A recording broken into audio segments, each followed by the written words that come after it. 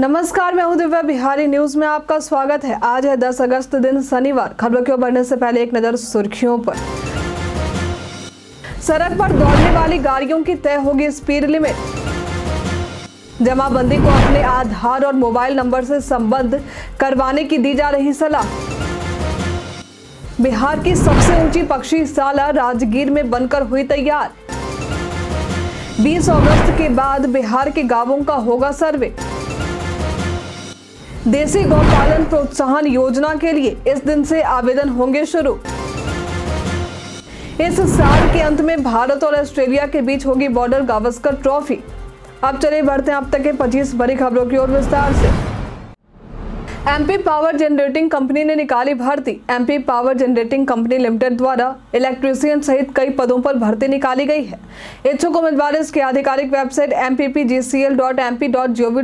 पर जाकर आवेदन कर सकते हैं। आवेदन करने की अंतिम तिथि 21 अगस्त है। आवेदन प्रक्रिया एकदम निःशुल्क है। इस भर्ती के लिए ज़रूरी है कि उम्मीदवारों ने दसवीं पास किया हो और मान्यता प्राप्त संस्थान से आईटीआई की डिग्री प्राप्त की हो। उम्मीदवारों की आयु सीमा अठारह से पच्चीस साल के बीच में होनी चाहिए।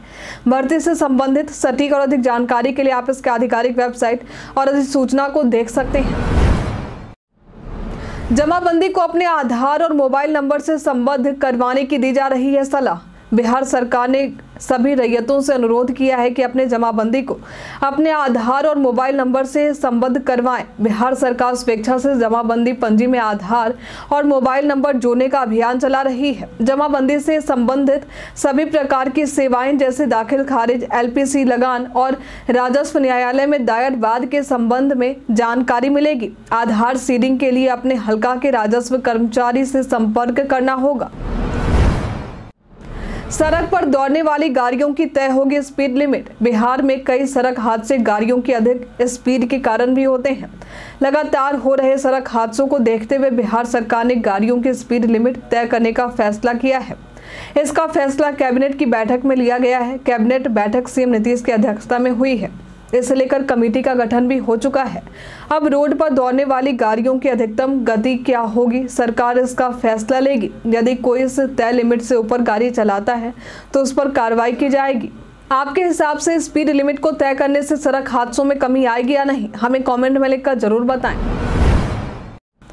20 अगस्त के बाद बिहार के गाँवों का होगा सर्वे। 20 अगस्त के बाद से बिहार के सभी पैंतालीस हज़ार से भी अधिक गाँवों के सर्वे की प्रक्रिया शुरू होने वाली है। सर्वे के दौरान ज़मीन पर मौजूद संरचनाओं का वर्तमान भौतिक स्वरूप के आधार पर उन्हें श्रेणीबद्ध किया जाने वाला है। सर्वे के दौरान राज्य सरकार आपके गाँव में कहाँ कितने घर हैं, कुएँ हैं, बगीचे हैं, सभी को जानने की कोशिश करेगी। इसके लिए एक सूची तैयार की गई है, जो 177 विभिन्न विशिष्टताओं से संबंधित है। सर्वे से सरकार ये जान सकेगी कि ज़मीन की मूल प्रकृति क्या है। यदि ज़मीन पर किसी तरह की संरचना या अन्य कोई चीज़ मौजूद है तो सर्वे में इसका उल्लेख भी होगा। बिहार की सबसे ऊँची पक्षी पक्षीशाला राजगीर में बनकर हुई तैयार। राजगीर के जो सफारी में पक्षी पक्षीशाला बनाया गया है ये बिहार की सबसे ऊँची पक्षीशाला है। इसकी ऊंचाई करीब 50 फीट है, जहाँ देसी और विदेशी दोनों मिलाकर 100 से भी अधिक पक्षियों को रखने की व्यवस्था है। यहाँ पर पक्षियों के आवास के नज़दीक उनका वैज्ञानिक नाम और उनके जीवन प्रणाली से संबंधित होर्डिंग भी लगाए जाएँगे। इससे छात्र और पक्षी विज्ञान के शोधार्थी को काफ़ी फ़ायदा होगा। वे इन पक्षियों के संबंध में जानकारी ले सकेंगे। इस पक्षीशाला का उद्घाटन सितंबर महीने में होगा। इस संबंध में एवियरी के इंचार्ज अरविंद कुमार ने जानकारी दी है। उन्होंने कहा है कि ये पक्षियों के रखरखाव की घेरानुमा बड़ी संरचना है। पक्षी यहाँ आकाश में उड़ने का बखूबी लुत्फ उठाए सकेंगे। इसमें 200 से भी अधिक बाँस, फलदार और फूलदार पौधे भी लगाए गए हैं। प्रीपेड स्मार्ट मीटर में रिचार्ज के बाद कट रही बिजली की शिकायत, हुई दूर। कई बिजली उपभोक्ता प्रीपेड स्मार्ट मीटर को लेकर ये शिकायत कर रहे हैं कि बैलेंस नहीं रहने पर उनके बिजली का कनेक्शन काट दिया जाता है और जब रिचार्ज करवाओ तो तुरंत बिजली की आपूर्ति नहीं मिल पाती है। बिजली उपभोक्ताओं की लगातार आ रही इन शिकायतों के बाद बिजली कंपनी द्वारा ये व्यवस्था की गई है कि अब रिचार्ज के पाँच मिनट के अंदर उपभोक्ता अपने घर की बिजली आपूर्ति खुद से आरंभ करवा सकेंगे। इस इस संबंध में बिजली के आला अधिकारी ने जानकारी दी कि अब नई तकनीक वाले स्मार्ट मीटर आ गए हैं। इस मीटर के पास एक बटन लगा होता है। यदि बिजली उपभोक्ताओं के रिचार्ज खत्म होने के बाद बिजली बंद हो जाते हैं और रिचार्ज के बाद भी बिजली का कनेक्शन वापस नहीं आ रहा है तो स्मार्ट मीटर में लगे बटन को दबाना होगा। बटन दबाते ही उपभोक्ताओं के मोबाइल पर एक नंबर आएगा। इस नंबर पर जब बिजली उपभोक्ता कॉल करेंगे तो बिजली आपूर्ति आरंभ कर दी जाएगी। तीन दिन स्कूल नहीं आए बच्चे तो बच्चों के घर पहुँचेंगे शिक्षक शिक्षा विभाग। बिहार में सरकारी स्कूलों की व्यवस्था को पटरी पर लाने की पूरी कोशिश कर रही है।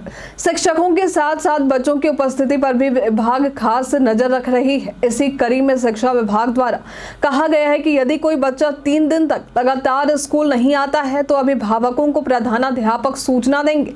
यदि तब भी बच्चे स्कूल नहीं आते हैं तो शिक्षक बच्चे के घर जाएँगे, फिर शिक्षक अभिभावक से बच्चों के स्कूल नहीं आने का कारण पूछेंगे और अभिभावक बच्चों को स्कूल भेजे, इस बात के लिए प्रेरित करेंगे। अभिभावक और शिक्षक के बीच नियमित बैठक भी बीच बीच में आयोजित होती रहेगी। साथ ही सभी स्कूलों में एक हेड बॉय और एक हेड गर्ल का चयन भी होगा। फास्ट टैग नहीं होने पर भी अब टोल प्लाजा पर नहीं देना होगा दोगुना टैक्स। जाने कैसे? जब भी हम एनएच के ज़रिए चार पहिया वाहन से सफ़र करते हैं तो इस दौरान हमें टोल टैक्स चुकाना पड़ता है। टोल टैक्स चुकाने के लिए एनएचआई की तरफ़ से हमें फास्ट टैग की सुविधा दी गई है। इसका इस्तेमाल कर कुछ ही सेकेंड में हमारा टोल टैक्स कट जाता है और लंबे कतार में खड़े रहने की ज़रूरत नहीं होती है। हालाँकि कई लोग ऐसे भी होंगे जिनके वाहन पर फास्टैग नहीं लगा होगा। फास्टैग नहीं लगे होने के कारण हमें दोगुना टोल टैक्स देना पड़ जाता है। अगर आपके पास भी फास्टैग नहीं है या आपका फास्टैग काम नहीं कर रहा है तो आपको परेशान होने की ज़रूरत नहीं है। जिनके पास फास्टैग नहीं है, वे prepaid and touch go card खरीद सकते हैं। ये आपको टोल प्लाजा पर लगी पीओएस मशीन पर आसानी से मिल जाएगा और इसका इस्तेमाल करने से आपको दोगुना टोल टैक्स भी देने की ज़रूरत नहीं होगी। बिहार पैटर्न में आज हम बात करेंगे बेगूसराय के बारे में। बेगूसराय बिहार के अड़तीस जिलों में से एक है। यदि आप यहाँ घूमने या यहाँ आने की प्लानिंग बना रहे हैं तो ऐसी कई जगह हैं जहाँ आप घूम सकते हैं। बेगूसराय में सबसे ज़्यादा धार्मिक पर्यटन स्थल है।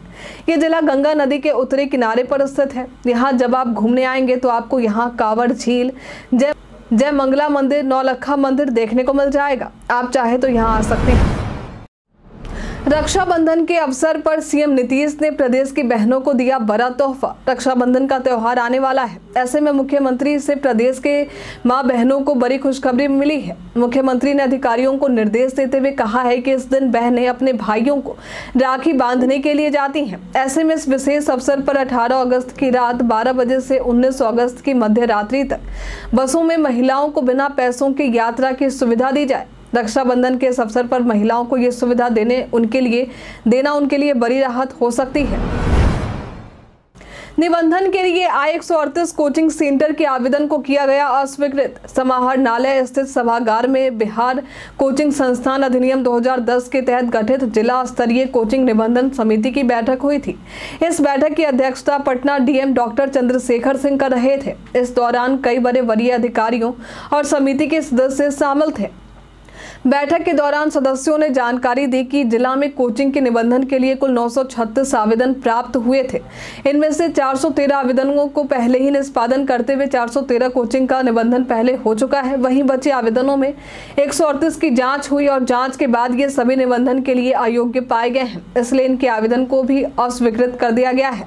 अब जिलाधिकारी ने अस्वीकृत हुए आवेदनों की सूची अनुमंडल बार अलग अलग करके संबंधित अनुमंडल पदाधिकारी को उपलब्ध करवाने के निर्देश दिए हैं।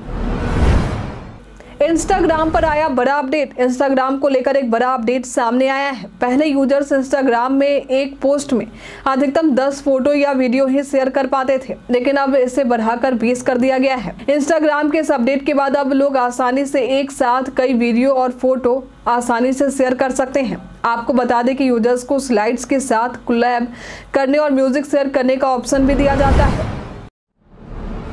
देसी गौ पालन प्रोत्साहन योजना के लिए इस दिन से आवेदन होंगे शुरू। बिहार सरकार की तरफ़ से देसी गौ पालन प्रोत्साहन योजना चलाई जा रही है। इस योजना के तहत दुधारू मवेशियों या हीफर के डेयरी इकाई स्थापित करने के लिए 15 अगस्त से आवेदन शुरू किए जाएँगे। आवेदन करने के लिए आपको H T T P S dairy dot Bihar dot G O V dot I N पर आना होगा। आवेदन के लिए ज़रूरी है कि आपके पास आधार कार्ड, ज़मीन की रसीद, जाति प्रमाण पत्र, प्रशिक्षण प्रमाण पत्र, बैंक पासबुक और फोटोग्राफ मौजूद हो। बिहार के लाखों शिक्षकों की समस्या को लेकर शिक्षा मंत्री से मिलने आए प्रतिनिधिमंडल बिहार के शिक्षा मंत्री सुनील कुमार से बिहार के लाखों शिक्षकों की समस्या को लेकर एक प्रतिनिधिमंडल मिलने आया था। ये प्रतिनिधिमंडल बिहार माध्यमिक शिक्षक संघ के अध्यक्ष रघुवंश प्रसाद सिंह और महासचिव शत्रुघ्न प्रसाद सिंह के नेतृत्व में आया था। इस मुलाकात को लेकर शत्रुघ्न प्रसाद ने बताया कि मंत्री ने शिक्षकों के ऐच्छिक पदस्थापना सहित दूसरे विषयों पर शिक्षकों और छात्रों के हित में उदारता पूर्वक विचार करने का आश्वासन दिया है। अब ड्रोन के ज़रिए खाद और कीटनाशक का खुद से ही किसान करेंगे छिड़काव। प्रदेश के किसान अपने खरीफ फ़सल पर खुद ही ड्रोन के ज़रिए कीटनाशक और खाद का छिड़काव कर सके।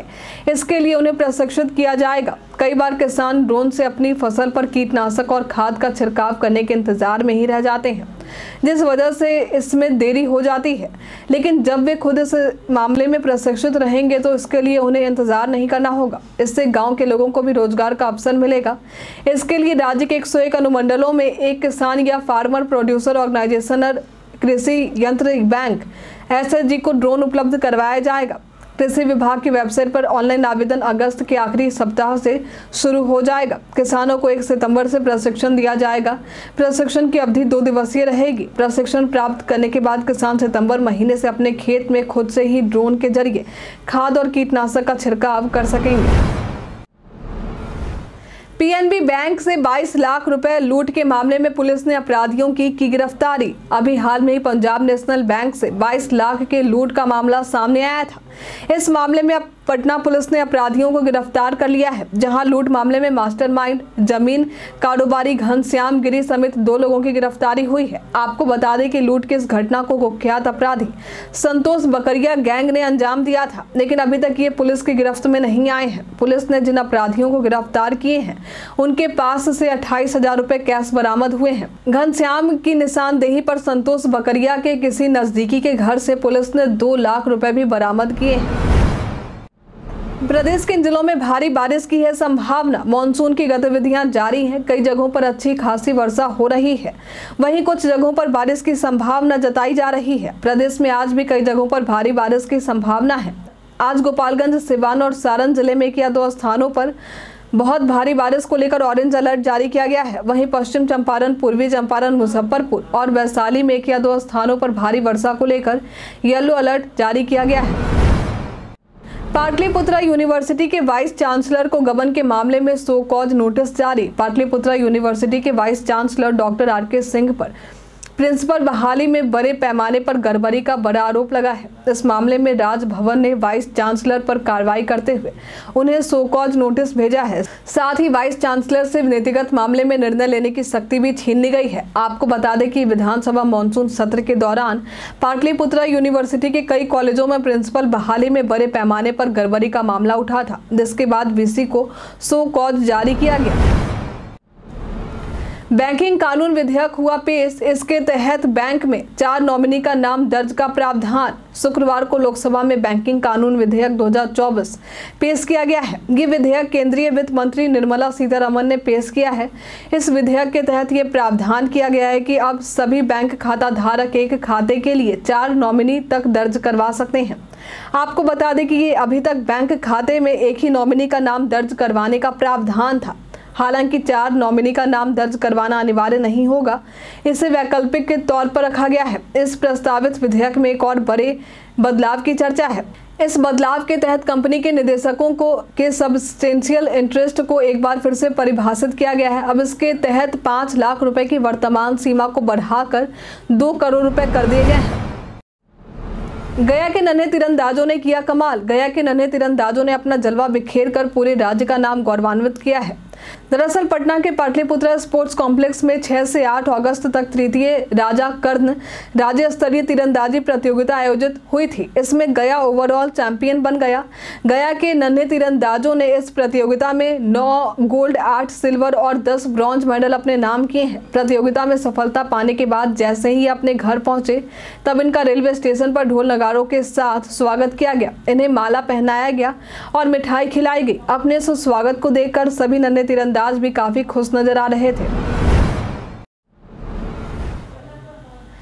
सीएम नीतीश ने पेरिस ओलंपिक में रजत पदक जीतने वाले नीरज चोपड़ा को दी बधाई। पेरिस ओलंपिक 2024 में नीरज चोपड़ा ने जेवेलियन थ्रो प्रतियोगिता में रजत पदक अपने नाम किया है। नीरज चोपड़ा के इस सफलता पर सीएम नीतीश ने अपनी खुशी ज़ाहिर करते हुए इन्हें बधाई दी है। सीएम नीतीश ने कहा है कि जेवेलियन थ्रो में भारत के नीरज चोपड़ा ने रजत पदक जीतकर इतिहास रच दिया है। उनकी कड़ी मेहनत, जुनून और दृढ़ संकल्प ने आज उन्हें इस मुकाम पर पहुँचाया है। और अब इन्होंने रजत पदक जीतकर एक नया कीर्तिमान स्थापित किया है। इस साल के अंत में भारत और ऑस्ट्रेलिया के बीच होगी बॉर्डर गावस्कर ट्रॉफी। इस साल के अंत में बॉर्डर गावस्कर ट्रॉफी भारतीय टीम और ऑस्ट्रेलिया के बीच खेली जाने वाली है। इस दौरान दोनों टीमों के बीच पाँच टेस्ट मैच होंगे। ये सीरीज़ दोनों ही टीमों के लिए काफ़ी अहम है, क्योंकि आईसीसी वर्ल्ड टेस्ट चैंपियनशिप 2023-25 के फाइनल में तभी जगह मिलेगा जब दोनों टीम इस सीरीज़ को जीतेगी। आपको बता दें कि वर्ष उन्नीस सौ सीज़न के बाद पहली बार ऐसा होगा जब इन दोनों टीमों के बीच पाँच मैचों की टेस्ट सीरीज़ खेली जाएगी। कई कारणों से दर्ज है, भारत इतिहास में आज की तारीख। आज के दिन वर्ष अठारह सौ चौरानवे में वीवी गिरी का जन्म हुआ था। ये देश के चौथे राष्ट्रपति बने थे। आज के ही दिन वर्ष 2008 में चेन्नई के एक लैब में एंटी एड्स वैक्सीन का सफल परीक्षण किया गया था। आज के ही दिन वर्ष 1860 में विष्णु नारायण भात खंडे का जन्म हुआ था। ये एक हिंदुस्तानी शास्त्रीय संगीत के विद्वान थे। आज के ही दिन वर्ष 1916 में प्रेम अदीप का जन्म हुआ था। ये भारतीय सिनेमा के अभिनेता थे। आज के ही दिन वर्ष उन्नीस सौ छियासी में सौरभ घोषाल का जन्म हुआ था। ये एक भारत के शीर्ष स्क्वैश खिलाड़ी है। श्रम मंत्रालय के तहत रोज़गार प्रदान करने का किया जा रहा दावा। इंस्टाग्राम पर एक विज्ञापन प्रसारित हो रहा है। इस विज्ञापन में श्रम मंत्रालय के तहत रोज़गार के अवसर प्रदान किए जाएँगे। इसका दावा किया जा रहा है। लेकिन आपको बता दें कि यह दावा पूरी तरह से फर्जी है। पीआईबी फैक्ट चेक ने भी इस खबर को पूरी तरह से फर्जी बताया है। इसलिए इस तरह के वायरल पोस्ट से सावधान रहे। साथ ही ऐसे पोस्ट को किसी से शेयर करने से बचें। हफ़्ते के आखिरी कारोबारी सत्र में भारतीय बाज़ार तेज़ी के साथ हुआ बंद। हफ़्ते के आखिरी कारोबारी सत्र में ग्लोबल संकेतों की वजह से भारतीय शेयर बाज़ार शानदार तेज़ी के साथ बंद हुआ है। बाज़ार में ये तेज़ी आईटी एनर्जी और बैंकिंग शेयरों में खरीदारों के चलते रही। बाज़ार में तेज़ी वापस आती दिख रही है क्योंकि अमेरिका में मंदी आने का खतरा टलता जा रहा है। बीते दिन कारोबार खत्म होने पर बीएससी सेंसेक्स 820 अंकों की तेज़ी के साथ उनासी और नेशनल स्टॉक एक्सचेंज का निफ्टी 250 अंकों की तेज़ी के साथ चौबीस अंकों पर क्लोज हुआ है। हम प्रतिदिन आपसे पाँच ऐसे ज़रूरी सवाल पूछेंगे और उसका जवाब बताएँगे जो कि बीपीएससी बिहार पुलिस दरोगा समेत एसएससी जैसे अन्य प्रतियोगी परीक्षाओं में काम आएँगे। सवाल इतिहास, बिहार स्पेशल विज्ञान करंट अफेयर्स और भूगोल से रहेंगे। पूछे गए पाँच सवालों में आपने कितना सही उत्तर दिया ये हमें कॉमेंट में लिखकर ज़रूर बताएँ। तो हमारा पहला सवाल है, हाल ही में हिरोसीमा दिवस कब मनाया गया है? ऑप्शन ए है चार अगस्त। ऑप्शन बी है छः अगस्त। ऑप्शन सी है पाँच अगस्त। ऑप्शन डी है सात अगस्त। इसका उत्तर है छः अगस्त? हाल ही में किसने India at the rate hundred launch किया है? ऑप्शन है पीयूष गोयल ऑप्शन बी है राजनाथ सिंह ऑप्शन सी है चिराग पासवान ऑप्शन डी है जगदीप धनखड़ इसका सही उत्तर है पीयूष गोयल हाल ही में पेरिस ओलंपिक 2024 के समापन समारोह में भारत की ध्वजवाहक कौन होंगी? ऑप्शन ए है नीरज चोपड़ा. ऑप्शन बी है मीराबाई चानू. ऑप्शन सी है मनु भाकर. ऑप्शन डी है दीपक दहिया. इसका सही उत्तर है, मनु भाकर। बिहार के पहले राज्यपाल कौन थे? ऑप्शन ए है doctor Zakir Hussain.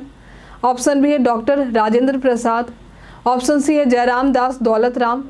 Option D है माधवी श्री हरि। इसका सही उत्तर है जयराम दास दौलत राम। निम्न में से बिहार के कौन से मुख्यमंत्री बिहार विधान परिषद के अध्यक्ष रहे हैं? ऑप्शन ए है केदार पांडे। ऑप्शन बी है अब्दुल गफूर। ऑप्शन सी है श्री कृष्ण सिंह, ऑप्शन डी है भोला पवन शास्त्री। इसका सही उत्तर अब्दुल कफूर।